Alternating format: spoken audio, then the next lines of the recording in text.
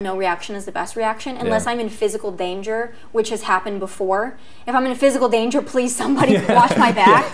But don't give people Don't just reactions. video it, yeah. Yeah, because people want the reaction. They want to see me fly off the handle because they think that like my commentaries when I do my final thoughts and I'm talking about something I'm passionate about, they think if they do something horrible to me that they're going to spur that kind of reaction. I'm not going to give it to them. I've been at a Kings game and had somebody literally pull my shirt back and dump a beer down my back. And it was a girl my age.